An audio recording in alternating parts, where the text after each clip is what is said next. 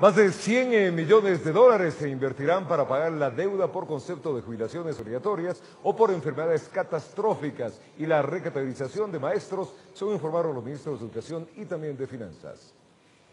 Los ministerios de Educación y de Finanzas, a través de sus principales, explicaron que los pagos pendientes por jubilaciones obligatorias y de personas con enfermedades catastróficas se realizarán hasta el mes de mayo.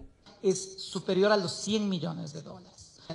Son 20.9 millones de dólares obligatorios y 44.3 millones de dólares personas con catastróficas, invalidez y etcétera, de los 65 millones. Son 37 entidades que han solicitado pagos por este concepto. Las primeras 34 van a ser atendidas de manera inmediata la próxima semana y las otras tres mediante un cronograma antes del cambio de gobierno.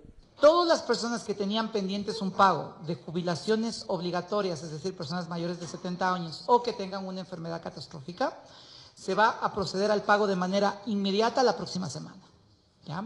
Para todos los del año 2015. Para los del año 2016 vamos a hacer dos grupos. El primer grupo, 34 serán atendidas de manera inmediata, igual la próxima semana.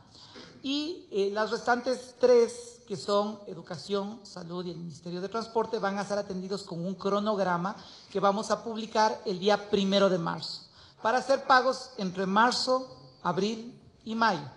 De tal manera de que con este cronograma nos ponemos al día hasta el mes de mayo con absolutamente todas las personas.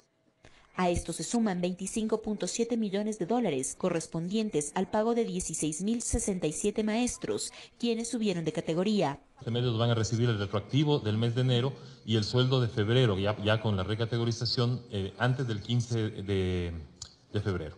Vamos a adelantar el pago de estas 16 mil personas 15 eh, días por las molestias que se han ocasionado y se han causado precisamente por, este, por no haber recibido su nueva eh, recategorización. Entre el 2014 y el 2017 son 49.740 docentes que se han visto beneficiados con el ascenso de categorías. En Quito informó